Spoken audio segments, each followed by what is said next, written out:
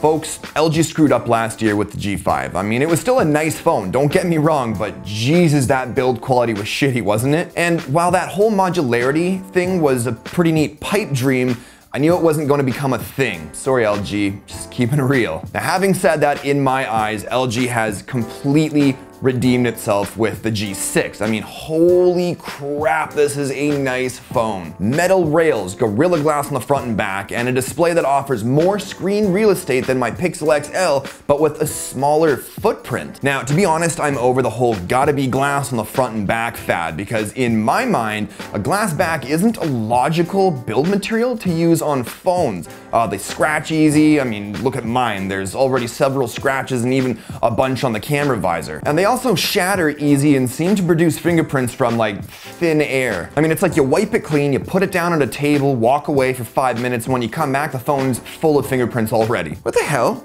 Okay, who touched my phone? Just come clean, I won't hurt you that much. But goddamn, look at this thing. It's gorgeous. And while I don't agree with all the glass, its build quality is phenomenal. This is a prime example of a premium flagship phone, and I still enjoy pulling it out of my pocket to use every day. So getting into the phone is another story though. Now, we're all used to smartphones with the power button and or fingerprint reader on the back, and I'm okay with that. And when it works, it's awesome. But for my hands, I think it's been placed a little too close to the cameras, and it's also pretty flush with the back, so it's kind of hard to tell apart from the cameras. And like a lot of fingerprint readers, it doesn't like it when your fingers are a tiny bit moist from oil or sweat. Um, I would say it works flawlessly about 80% of the time. Oh, and by the way, you can't adjust the display brightness while it's locked, which is stupid. Just saying. Now, getting into the software, it came with Android 7.0 out of the box, which surprised a lot of people because some of the other new flagships of 2017 are coming with Android 7.1. Personally, it didn't bother me at all. Um, should it have come with 7.1 out of the box? Yeah, but that shouldn't be a deal breaker for anyone. Um, but when it comes to LG's skin, I'm not a big fan this year. It's not terrible, but something about it just bothers me. What's your problem, man? Your face bothers me. So, taking a page out of my friend's books over at Hardware Canucks, thanks to Android and its almost endless personalization options, I downloaded and installed a free black theme from the theme store, Nova Launcher, and an icon pack, and then changed the animation speeds under developer options to 0.5, and wouldn't you know it, it's snappier and it looks way better. And there isn't a ton of useless features like I've seen in so many Samsung phones. Uh, for instance, jump into smart settings and you'll find some things that should be featured in every phone on the planet. But the overall performance has been great. Uh, the G6 has a Snapdragon 821 CPU, which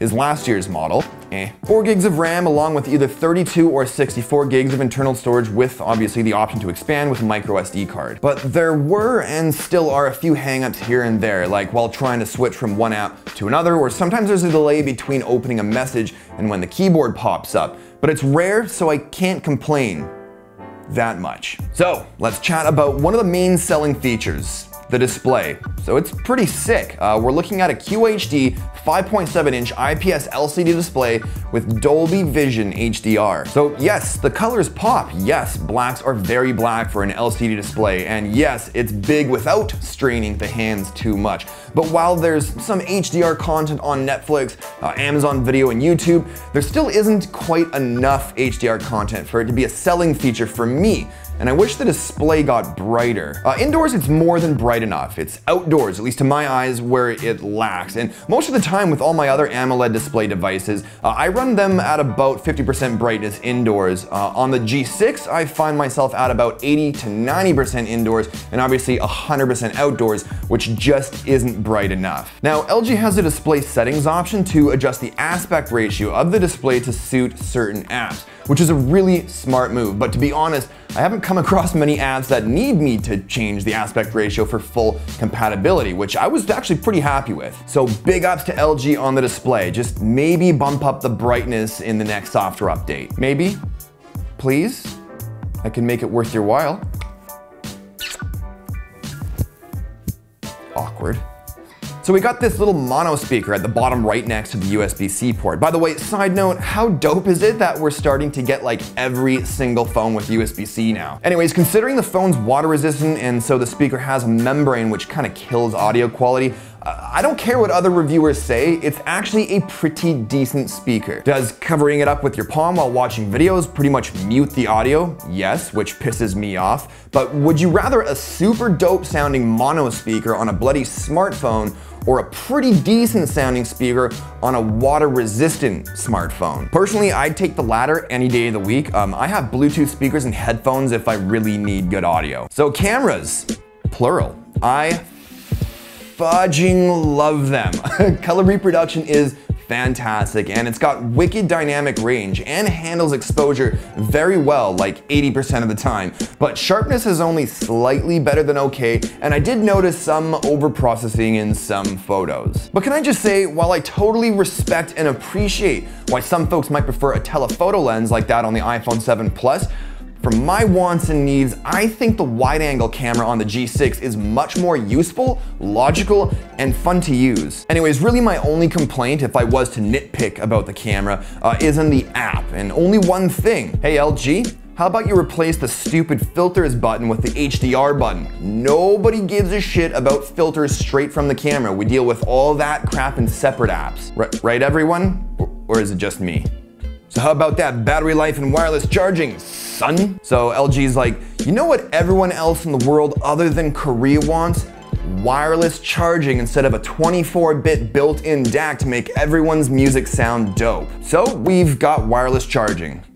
And now if you love wireless charging, sweet, there you go. But if, like me, you prefer fast charging by simply plugging it in with its super easy reversible USB-C port, then like me, you're also a little sour too. It's my sour lemon face. But yeah, DAC would have been baller. Damn it, LG. Anyways, yeah, battery life. Sorry, got a little bit off topic there. Uh, yeah, it's meh. Uh, sometimes I only got an hour and a half of screen on time with like 20% left after some pretty damn light usage. And then other times I'll get like a solid three hours of SOC with average usage. Will it get you through an entire day? Depending on what you're doing with it, probably just. But for me, more often than not, I'm throwing it back on the charger by evening time. So I'd say it gets average battery at best. Now, just before I close out, I wanted to thank Caseology for sponsoring this video and helping keep my lights on, the internet running, and food and booze in my belly. Now, Caseology has some really nice cases for the G6. The Parallax cases are stylish and modern looking with a polycarbonate bumper wrapped around a smooth to the touch TPU case with this dope sort of textured pattern on the back while still offering full body protection with a minimal footprint. And then there's the Vault. I really like this one. So we've got a TPU case with this laser etched sort of brushed metal and carbon fiber look and texture to it, which does an excellent job of repelling fingerprints. And both cases are only 20 bucks. So I'll throw a link in the description if you want to buy the same cases I'll be using with my G6. That about covers it. Uh, if I left anything out, I'll be hanging out in the comments if you guys have any questions for me. But the long and short is it's an awesome phone with some really awesome features that I love, but battery life isn't great. So make sure your lifestyle includes being around a charging source. Uh, as always, if you like the video, show me some love with that like button. And if you're new to my stuff, don't forget to subscribe for new videos every week. Thanks as always for watching, and I'll talk to you all in the next one. Cheers.